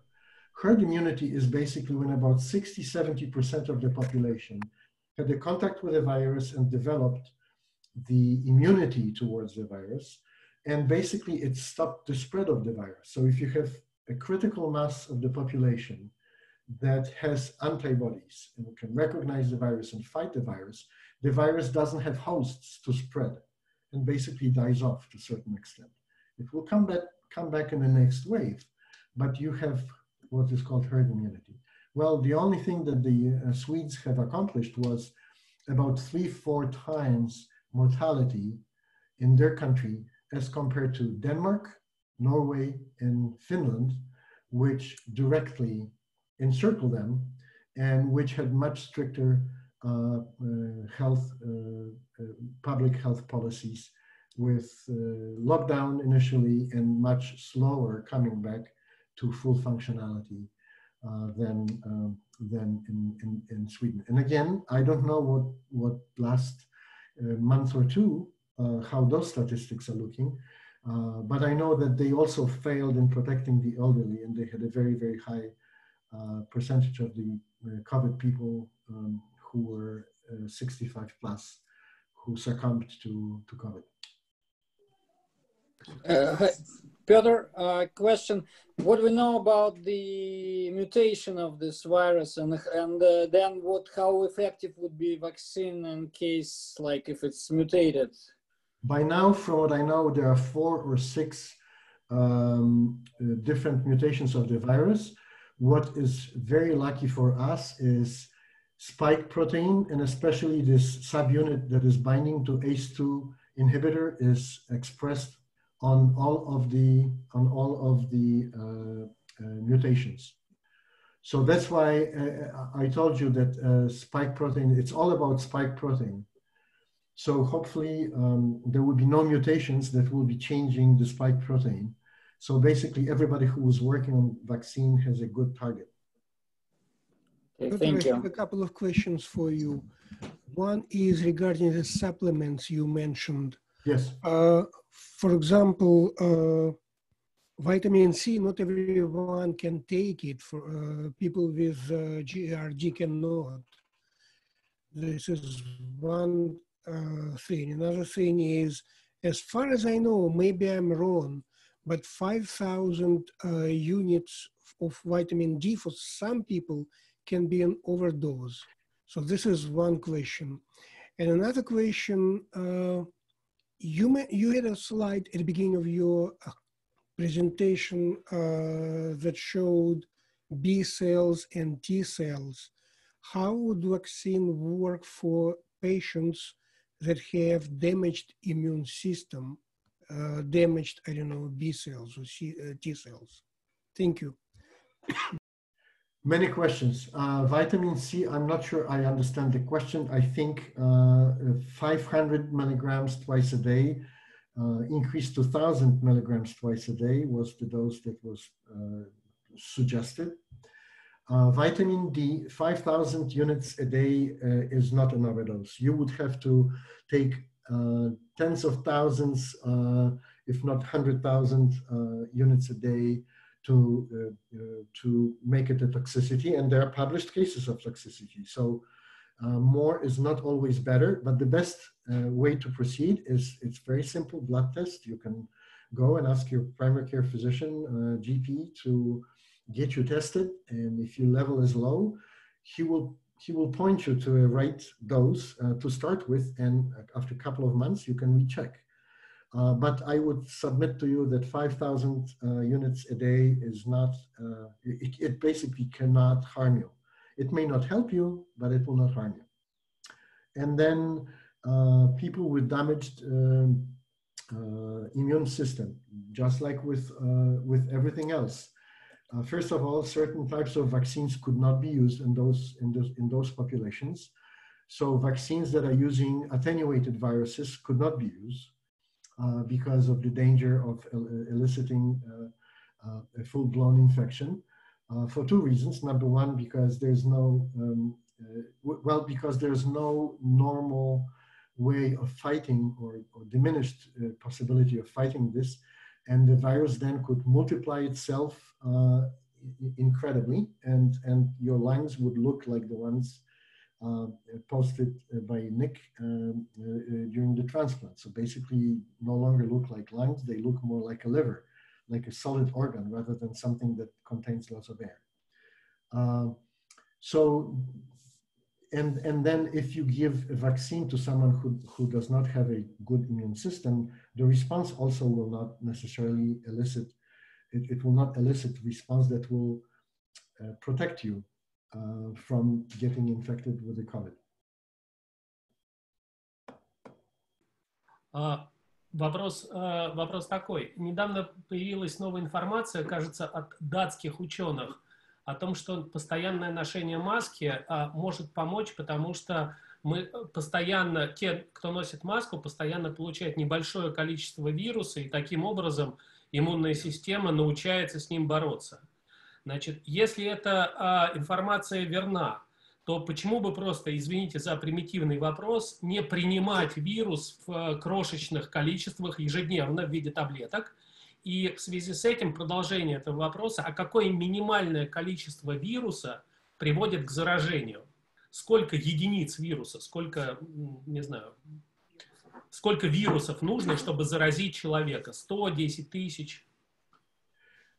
I claim ignorance, so that's something that I would have to uh, check, and I don't know if anybody has answered because I don't know if you can count. Nick, unless you have an answer, I have no better answer. I don't know if you can count, uh, if, if it would be even possible to see to which point, uh, you know, you, you don't have response, at which point you start having response, and at which point, depending on mass of the virus that is injected, inhaled, whatever challenge you're doing uh, would elicit a severe uh, action. And you have to remember that it's not only about the infecting factor, but also the host response to this factor. So if you fight it or not depends as much on how much of the virus entered your body as it depends on what kind of response you're able to elicit.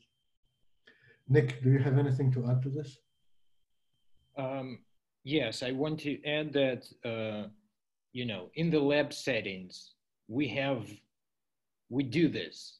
Like when we infect mice with influenza A virus, we know how much virus provokes how much uh, damage and how much mortality. But this is uh, lab, lab settings, you know, everything is pretty measured and everything else except this is sterile and all the mice are genetically identical. So it, it's kind of possible to, to get some sort of uh, answer to your question, but it's very hard. And yeah, I don't know any answer right now.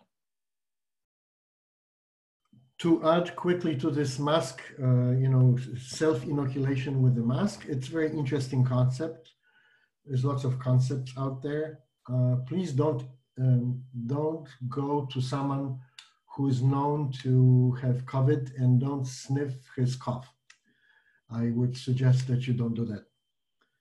Uh, uh, the mask issue is also a, confusion that was at the very beginning of the pandemic. Use the mask, don't, don't use the mask because only certain types of the mask are preventing you from inhaling the virus or protecting you from inhaling the virus. And these are very specific, specific masks. It's called N95. They have to be fitted and they have to fit very snugly. From experience, I can tell you that it's very unpleasant to wear for many hours in the OR and very difficult to breathe through them. Um, and only those masks are uh, protecting you from inhaling. The reason we are wearing masks is because not, none of us knows if we had contact with the virus and if we are carriers of the vir virus, even without expressing any, showing any signs of infection. So we are doing favor to everybody around us by thinking that we might have had a contact with the virus and maybe we have the virus. And if we talk without the mask, we will generate the droplets, they will get on the surface, someone else will touch the surface and will get infected. So this is a public health issue that we are wearing loosely fitted masks and they are protecting everybody from everybody in a sense that we are not leaving droplets everywhere. Um, and that's why at the beginning, I think it was confusion uh, that people were saying, well, why would I wear a mask that is not protecting me? Well, but it's protecting, if enough people are wearing the masks, it's protecting the population. That's the whole, that's the whole issue. Peter, last question from me. Uh, as far as I understand, uh, melatonin is dispensed in five milligram pills. Should I take one every other day or should I just cut It's, it by it half? can be one, two, three, four, five. I take 10. Really? So, I didn't see. okay, really, yeah. fine. Yeah, it's it's it's sold in different it's sold in different concentrations. Uh, I take it only if I uh, have a stretch of difficulty falling asleep, or if I make a mistake of taking a nap during the day, because I know that if I take a nap during the day, especially longer than half an hour, like Sonia could use one now, um, I will have difficult, difficulty falling asleep. So um, on those days, I, I take five milligrams, sometimes 10 again, no harm, no harm in taking two versus five versus 10. Well, definitely. Ah, It sounds it helps. It helps only because you sleep longer and And don't no- have to get the virus. No, no, no. Actually, it, the, the effect of melatonin dissipates relatively quickly. Um, it, it is a, it is a quote, fall asleep quicker rather than stay asleep medication. Mhm. Uh, question in regards to pregnancy. Does it affect the susceptibility to the virus and does it affect the um, severity of the disease in any way, shape, or form? I know nothing about it, so I can't help you. Uh, if the group is interested, I will research it for you and uh, I will answer. Nick, do you know anything? Uh, yes, I'm, I'm reading aloud, out loud. Pregnancy and childbirth have not been shown to substantially alter susceptibility to or the clinical course of infection with SARS-CoV-2. Three references. So, Zhenya, should we congratulate you? Что незаметно?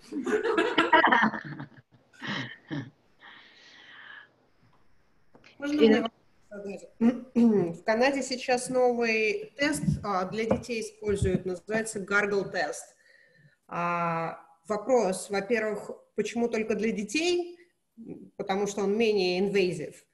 А, И, э, ну, то есть, и насколько он эффективен, если есть такая статистика? Um, so that was the test that was developed, I think, in uh, at Yale. Uh, I don't know, one of the Ivy League universities for sportsmen, for the most part, uh, just to very quickly um, uh, and uh, have very quick responses and relatively non-invasive. Because basically, the idea was that a sports team would be tested on a daily basis. So it's basically you clear your throat, you generate some spit, you spit in a tube, and it's tested. In, the answer is, I think, I think within hours, couple of hours. Uh, the main main chokehold, I think, is basically that there is no enough of the technology and tests available at this point to to have it on the mass on on the mass uh, on the mass scale.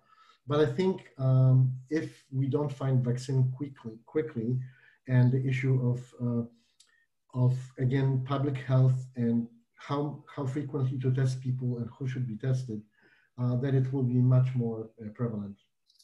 I see it as a as a test, major test moving forward as a one of the main tests. Yeah, because it's from yesterday in um, Canada. We use it for uh, kids four plus, grade 12. No, I, I, you know, if I had a choice, I'd rather have this than someone sticking Q-tip all the way back through my nose and, and, No. the back of my nose and my throat. That's for sure. Uh, there's a great question in the chat. How has the treatment of infected and already sick patients in hospital has changed from February to September? Has mortality rate improved? Mortality rate for the most part have improved because of the mass testing that was introduced. You have to remember that the availability of the testing at the beginning was very limited. So only people who were sick, uh, showing some signs of the disease were tested. And of course, if you test only sick, infected and sick people, you will have a much higher mortality rate than if you take test lots of people who may or may not be sick. So if you have done uh, lots of tests, um, now the majority of the people were tested at the beginning were elderly, elderly people because they were getting sick or severely sick.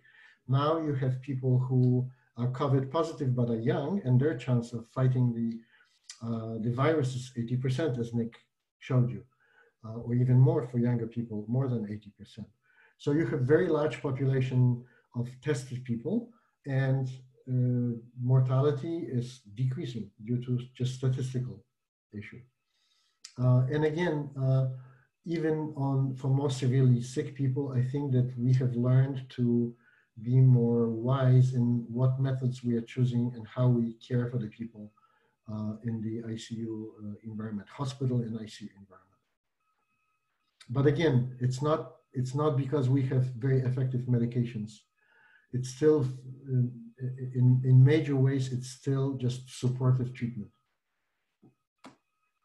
Uh, to answer precisely, because I see what is dangerously low blood oxygen, um, in medicine, we, we do 90% as a cutoff. So if you have 90% saturation or below 90% saturation, that, that, is, that is a red flag.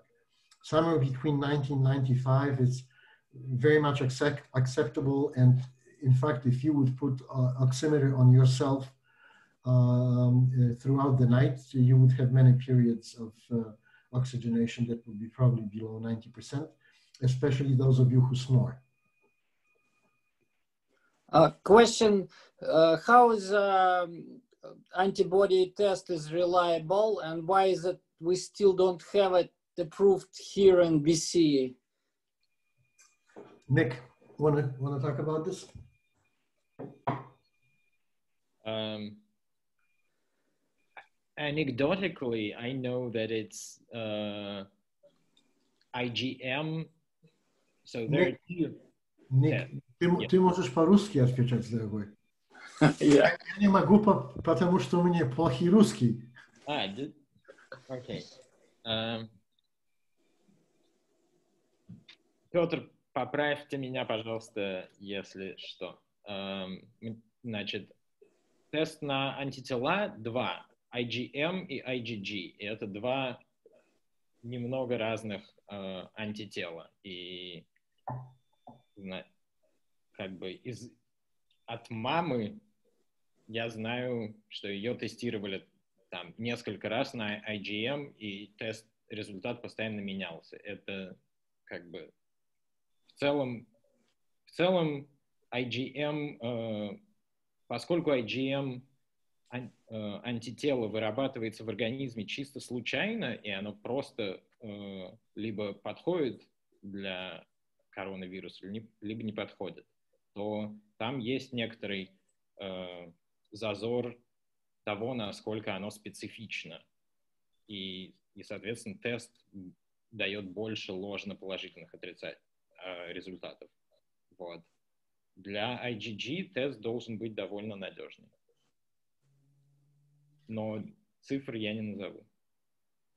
I will just add that um, uh, there was initially idea of doing this test so that people could have uh, antibody passport, meaning that if they have antibodies, that means that are immune. Uh, they can go into a situation where the COVID uh, virus is prevalent and uh, they can travel and have no restrictions and moving around and so on and so forth. The problem is that we don't know what is the concentration of immunoglobulins that is necessary to fight the infection. Uh, stability of the test is not exactly, and specificity of the test is not, not, not exactly established. So testing antibodies is not really giving you much of the responses about how well you will fare uh, if you if you encounter a, a virus. No, gentlemen, uh, I, I understand that we're going to live with it for another year or year and a half. So my, at, le- at the very least, uh, my question is, if you can suggest rely, any reliable sources that we should follow in terms of update information, anything that we uh, that trustworthy to a degree that you can assess. dream on. Okay. Um, if you want to go to really scientific sources, to the source, I suggest that you do your searches. You first Google Google Scholar. Well, yeah, but I, I might not be able to understand half of what's written there. I realize that. I understand. Well, so Okay. this is what I am asking is about source of sort of popular general population kind of information, but somewhat reliable source. So I would look for some popular medical pages. Okay. Okay. So there's something called MedPage, for example. Okay. There's something called. Um, let me look. Nick, I'll, I'll I'll leave it to you for a second, and I'll look for something here. And what we should look for. COVID nineteen. Just, just type COVID-19. no, no, no, no, no, no, no, no. No. It's not what I'm asking. That I get. I mean, what kind of develop, what, what, what information would be, uh, you know, positive, what negative? How should we? There's lots of questions there, I know. No, COVID treatment. If you if you're looking for what's new in, in in treatment of COVID, you just type in keywords Vaccine and, yeah. COVID, treatment or COVID vaccine, and Mhm. everything that was recently published uh, will uh, uh, will pop up. Thanks. Ну, я, я разве что добавлю как бы общую информационную гигиену. Просто если... Вот, вот, вот мой, мой вопрос относился к вот этому термину, который я ни- н- никогда не слышала, но поняла, что именно об этом я и спрашиваю.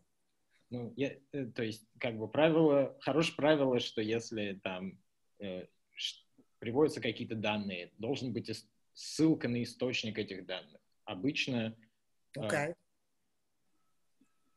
обычно э, стать, как бы исследования про лекарства или про механизмы болезни, они должны ссылаться на научные публикации, которые выходят в... То есть это научно-исследовательские уни- институ- э, институты, университеты и так далее всякие. И да? больницы, больницы тоже. Боль- То больницы.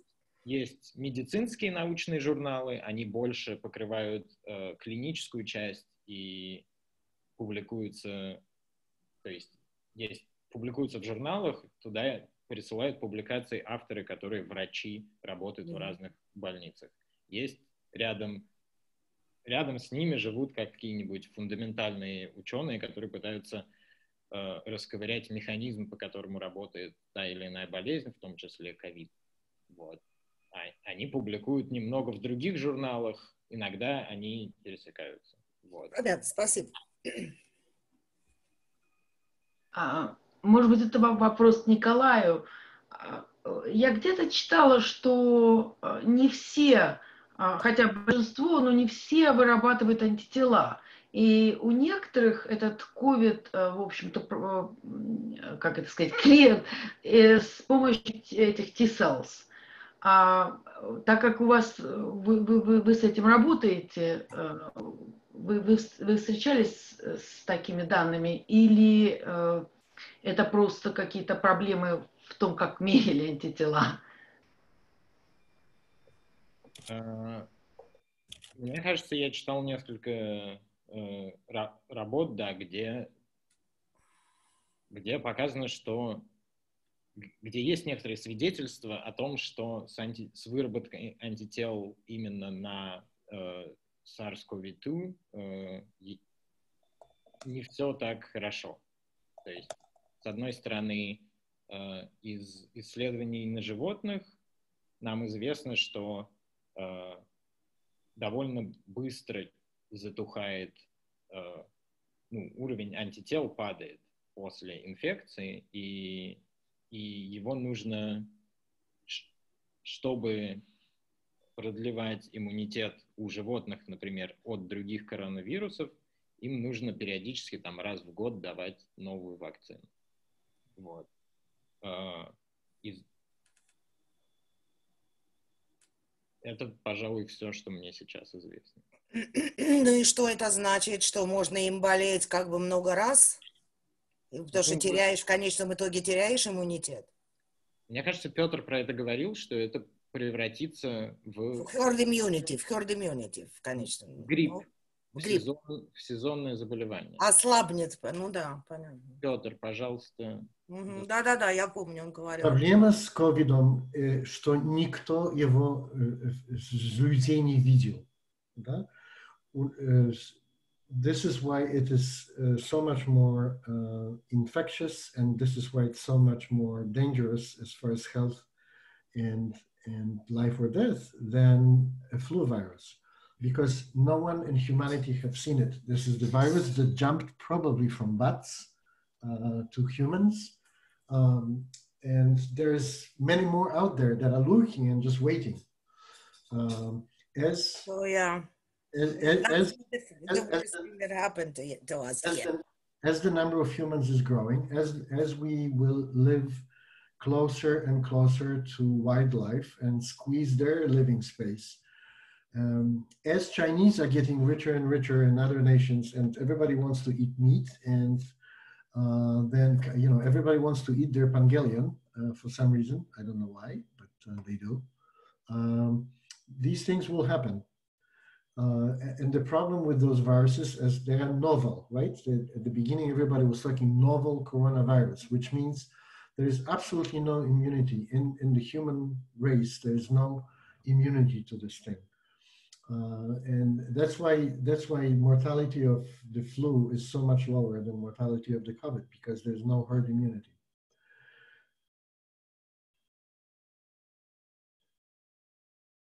Э, Я хочу добавить, что э, было несколько исследований, э, в которых зафиксирована кросс-реактивность клеток. То есть есть люди, которые не болели ковидом, они болели просто коронавирусами, которые простудные, э, и их Т-клетки реагируют на SARS-CoV-2. Это не дает... Непонятно, какой эффект это дает. Это, возможно, ухудшает вообще проблему и течение болезни для этих людей. Не факт, что это помогает, но там есть некоторые вот эти вот коронавирусы не страшные, с которыми есть некоторые пересечения по э, иммунитету, но, но не такое, которое дает э, herd immunity. Вряд ли. Еще, может, по- извините, еще один вопрос. А вот э, э, ACE2, э, как, э, как в общем-то, эм, где-то вот тоже я где-то читала, что можно рекомбинант A- э, ACE2 а, использовать как тритмент, то есть как ловушка, фейк, что вирус набросится на вот этот про- протеин, вместо того, чтобы атаковать клетки, если его достаточно большая концентрация. И, и это было в каких-то там начальных клинических испытаний? Э, Это куда-нибудь двинулось вперед и, и- или, э, в общем-то, заглохло? I can't say anything about this, but I will. Uh, I'll check it and I'll post it on uh, on Facebook webpage. А Thank you. А, что известно про то, как этот вирус играет с курением? А, Писали, что курильщики болеют тяжелее, но писали, что курильщики не заражаются. А Что на самом деле известно? Ничего про это не знаю, честно говоря. Но если курите, перестаньте, пожалуйста. Универсальный совет вообще-то. Я предлагаю последних два вопроса, ладно, потому что мы уже действительно давно, давно з- мучаем наших лекторов. И это безумно интересно. Я, честно говоря, я бы еще повторила. Э, Потому что, ну вот, я думаю, что все согласны, что мы сегодня получили такую порцию информации, с которой нам еще предстоит довольно долго жить и довольно долго ее переваривать. Так что я предполагаю, что э, вопросы еще будут продолжать поступать. Давайте заведем отдельный пост в группе, хорошо? Чтобы мы могли э, и Петра, и Николая еще спросить. Э, ну, то есть я, я понимаю, что я буду задавать вопросы еще неделю вперед. Э, давайте последние два вопроса, ладно? Да, я как спрашивающий, а можно Николай ответит, что у него есть ответить на мой вопрос? А потом еще два вопроса. Кратко хочу ответить про курение, что мне кажется, что конкретно у нас в реанимации, по-русски ICU это реанимация, да?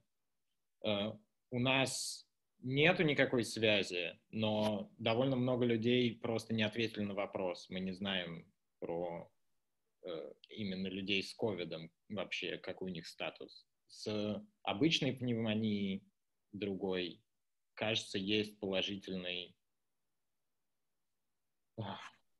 Есть корреляция между курением и худшим прогнозом. Вот. Мне кажется, что из других реанимаций было несколько репортов, которые тоже проводили положительную корреляцию между тяжестью заболевания и статусом курения. Спасибо. А еще, наверное, предпоследний вопрос, да, или последний, не знаю. Э, утверждается, что у детей еще не, не полностью развит вот этот рецептор ACE2, и поэтому они меньше болеют и, возможно, меньше являются э, переносчиками, потому что некуда вирусу прицепиться, и, соответственно, от них уже не может попасть. Это правда или нет, и насколько это достоверно? И в таком случае, если это так, то, ну, значит, можно спокойно детей выпустить в школы, видимо, в этом случае. Или это все домыслы? И кого считать детьми в этом случае? Ну, я не знаю, до какого возраста развивается этот рецептор, в каком он становится в полном объеме у детей. I don't have a good uh, good answer. Uh, only what I have uh, seen a couple of weeks ago uh, published, which means that the the density and the number of the virus particles that uh, children uh, can transfer is actually oftentimes higher than in the adults, or at least the same. How does it translate into um, the fact that they are severely sick much less often than the adults and the development of ACE2, uh, ACE2 receptor? I don't know. And I think only very small children uh, probably have still uh, uh, non-developed uh, receptor system. I would imagine that around one, two years of age, these systems are pretty well developed. Nick? Точного ответа нет пока. То есть есть несколько гипотез, почему дети болеют меньше, но, но четко непонятно почему. Э, я хочу сказать, что как бы есть статистика, да, по которой, да, дети там, у них маленькая доля, но есть конкретные дети, которые заболевают, и потом им все равно нужен, все равно они оказываются в реанимации и все такое. И, и, и как у них там дела потом идут, у тех у, той небольшой доли, которая все-таки заболела, довольно плохо. Поэтому э, мне, ну, то есть там про... Я, я бы точно не сказал, что там вот дети, это просто не глядя э, защищенная группа везде, и мы, мы с ними так и... Ну, то есть мы их перестаем защищать. Нет, мне кажется, не так.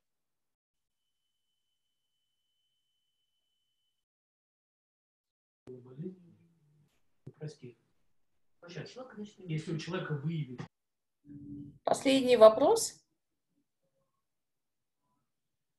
И два, один. Нет вопросов? Все, спасибо огромное.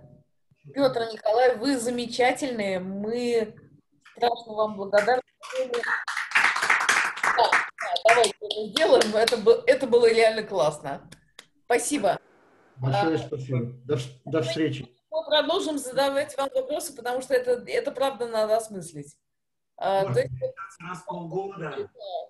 Фактов столько и данных столько. Меньше из нас.